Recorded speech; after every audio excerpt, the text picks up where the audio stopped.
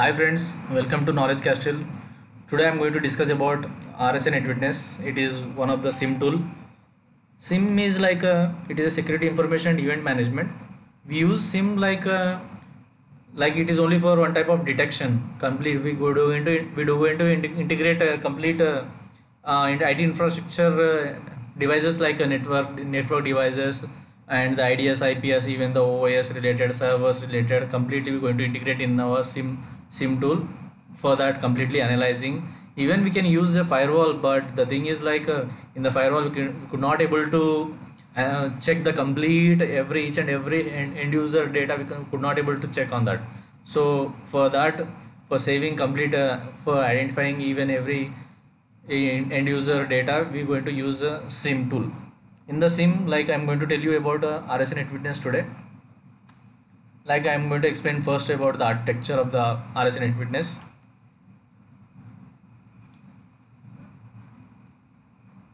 See, we going to collect the logs from all the complete uh, uh, IT infrastructure devices. So we do going to get the logs from all the devices to the collector.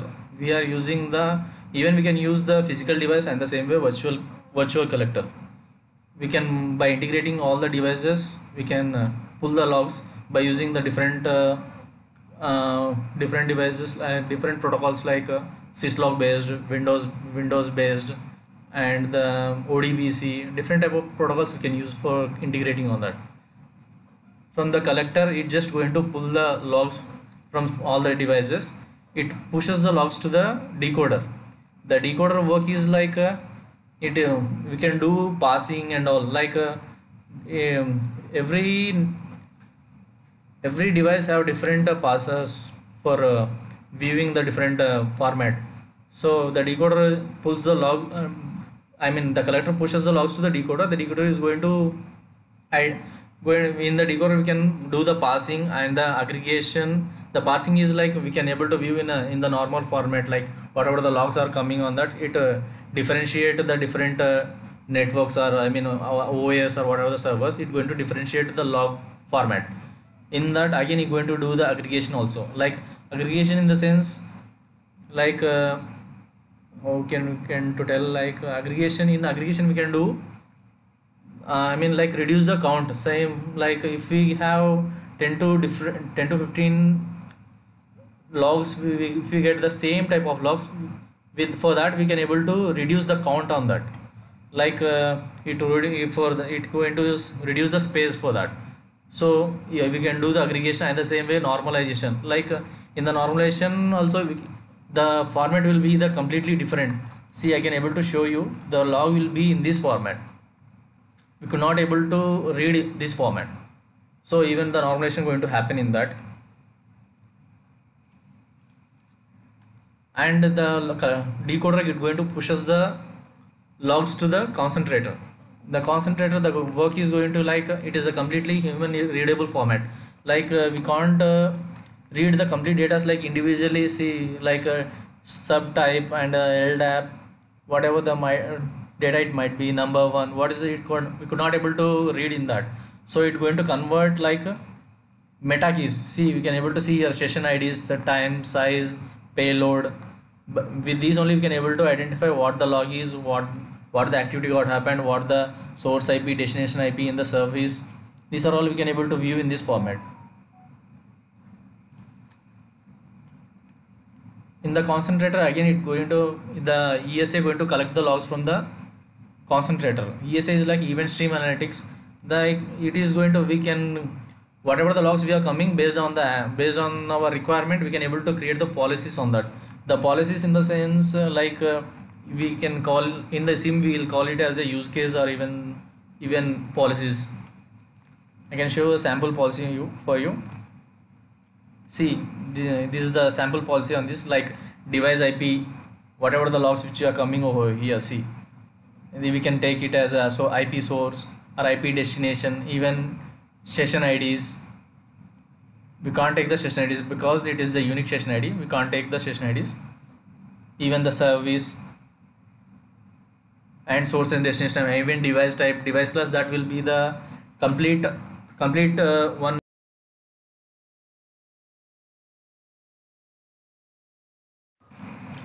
ESA is like uh, we're going to do for uh, it is for policy based, just for creating the use cases which we call in uh, SIEM.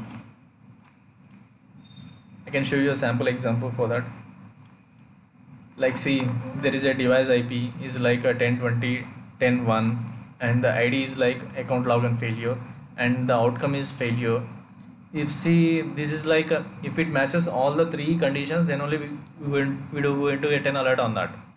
With that we can raise to the alert to our uh, i mean like to, if it is the network team related we can send to the network team. If it is the os team any windows team related we can send to them.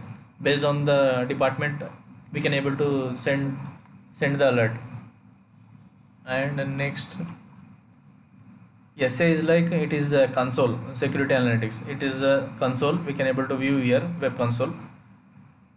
The complete alerts and all which we going to get in our console. In console we can able to see all these tabs like in our respond, investigate, monitor, configure, admin. In the respond tab is just for create for raising the alerts on. We'll get to over here, and the investigation is like completely we can analyze this. Uh, raw log and the same way meta keys which completely we can will do in our uh, analysis investigation part in the monitor is like a dashboard we can able to see how uh, the sample I can show you just a minute this is the like a console we can able to monitor all the devices and all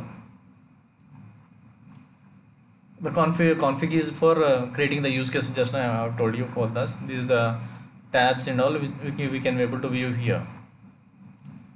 And the admin there is a complete admin part. We for a security purpose even the creating the users any configuration related completely we can able to view on admin tab. Next uh, is like see the thing is like uh, the in from the console whatever the alerts which we have raised in our uh, in our respond tab.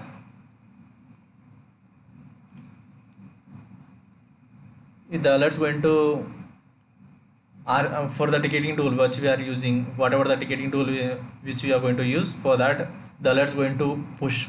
By using the help of uh, UCF Unified Collection Framework it pushes the alerts to ticket uh, for tickets uh, for generating the tickets. From there we can uh, directly we can alert send the alerts to the individual department. This is the ticketing tool which we are using and uh, the SecOps web server. For the ticketing tool what we are using for that there is a web server and the same way there is a SecOps DB the for that there is a database which uh, the alerts are going to save in that. And uh, of course this is the web console what we have discussed over here in the security analytics. Okay. and this is the archiver which is going to store like uh, from the decoder complete data data going to is like uh, archiver is like uh, in a decoder or in concentrator we can able to view the logs till 15 to 20 days. After that it going to it pushes to the archiver like we can in archiver we like uh, it is uh, five years or four years of uh, warranty we can able to see the data complete data in archiver after 15 days it going to send to the archiver in the archiver we can able to see any historical logs or any traffic which if you want to analyze the logs or past any if you find any suspicious activity that if you want to see any individual server data in a historical dat database in archiver we can able to see the complete data in that.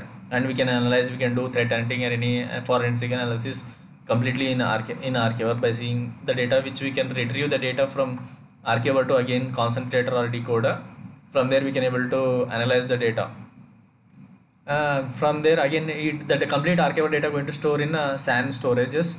In the SAN storages it's the, it's the complete it's a big uh, topic that we'll do some separate one more video on that. In the SAN storage is like it will be the data going to store in the TBs and we from there again we have a backup servers like uh, tape libraries. What even we can store in the tapes. In the tape libraries uh, like it will be like 5 to 10 TB tapes each for that uh, even uh, if any disaster recovery get occurred the back uh, the backup uh, tape library is going to help for that. If any issues comes in our SAN storage and all the tape library we can uh, again we can do retrieve data we can do the data retrievation on that.